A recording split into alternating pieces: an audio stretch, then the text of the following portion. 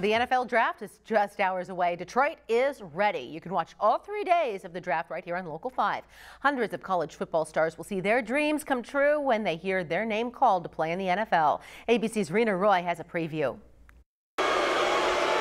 With the first pick all eyes on the Motor City tonight, where prospects will take center stage and wait for something many of these young men have dreamed of their entire lives to hear their name called in the NFL draft. Detroit expects to welcome 400,000 visitors for this three day event, which will showcase the city. Many of the top prospects also showcasing their fashion, trading in pads and helmets for their most stylish suit. What's so great is when people actually come to Detroit, they are blown away because Detroit is not what they might have thought.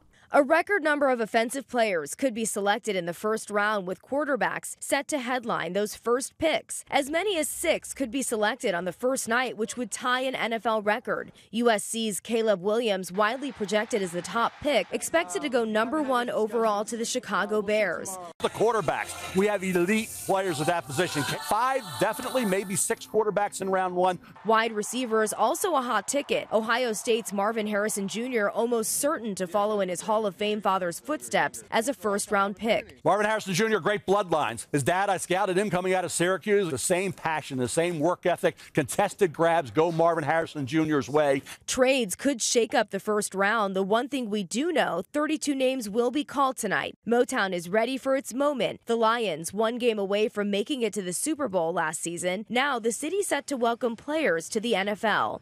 Reena Roy, ABC News, New York. And you can catch the draft tonight right here on ABC starting at 7 p.m. A heads up, Local 5 News at 10 will air tonight and tomorrow right around 10:30 p.m.